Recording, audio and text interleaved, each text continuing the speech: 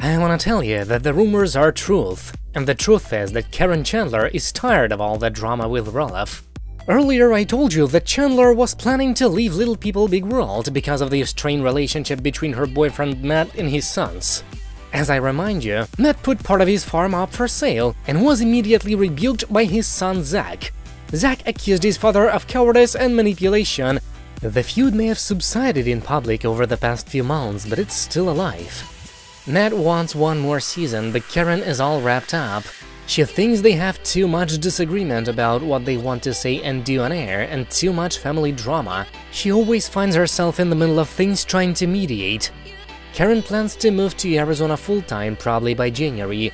Roloff and Chandler have purchased a $375,000 home in Surprise, Arizona. Matt has long hinted that he would like to retire there someday, Caryn has wanted to move there for so long, and she and Matt often stay at their vacation home on weekends, but soon it'll be permanent. So at first, Caryn's move will be without Matt to settle in. Caryn has doubts, she doesn't know if Matt is done with the show, but Caryn herself definitely knows she wants to get away from all the drama in the family. She lets him make his own decision, but she would rather not be a part of it anymore. Roloff is also going to propose to Caryn soon. Matt has been talking about it for years, but all words are to no avail for now. A wedding is still in the plans, but they have so much going on that they have decided to put off any plans for an engagement. Caryn can't wait to start a new life in Arizona, it'll be a new chapter for both of them. Thanks for tuning in, subscribe not to miss anything interesting.